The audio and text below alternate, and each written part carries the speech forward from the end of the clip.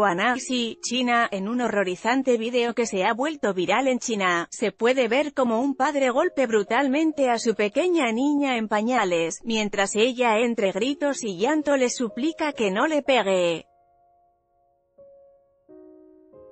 Leer más, el profesor Walter nos toca las piernas en clases, los fuertes puñetazos pueden escucharse en el momento en que arremete contra el pequeño cuerpo de la infante, mientras ésta grita a todo pulmón, papá, deja de golpearme, y no, mientras el hombre ebrio continúa maltratándola.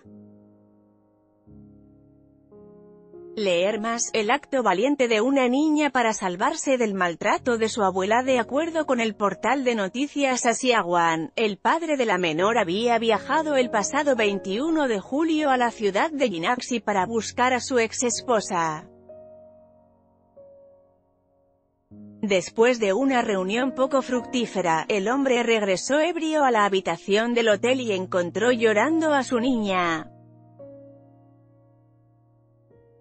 Fue entonces cuando el hombre de 26 años, colérico, decidió grabarse golpeando y ahorcando a la nena para mandarle el video a su antigua mujer como castigo.